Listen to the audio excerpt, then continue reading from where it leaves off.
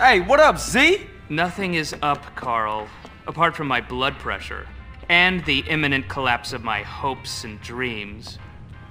Why?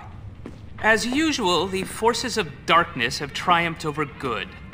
Life is nothing but misery, briefly interspersed with agony. Homie, what you on? Whatever it is, you need to reduce the dosage.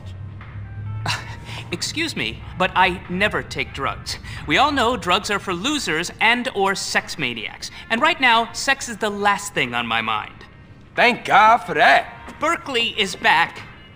Oh, Berkley. Yes. Who the fuck is Berkley? Oh, just a man I once beat in fair competition. A man literally obsessed with revenge. Oh, you putting hands on him? No, please. I never initiate violence. Oh, I know. You knocked this bitch. Uh, no. I won the prize in the science fair. First prize, that is. And now he wanna pop you? Oh. And they say gangbangers is petty and small-minded. Hey, what's that bleeping sound? That's him. We shall fight to the end!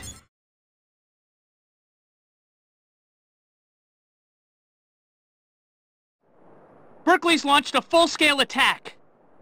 This is insanity! All batteries commence fire! He's going for my transmitters! If he takes them out, I'll never be able to launch a counterattack. No problem, man, but they're only toys. They're not toys, they're just smaller. CJ, bogey's at 12 o'clock!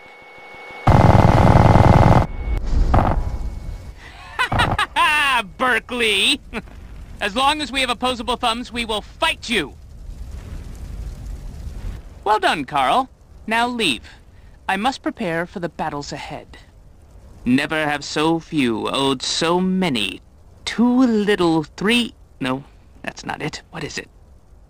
We will fight him on the beaches. Well, rooftops.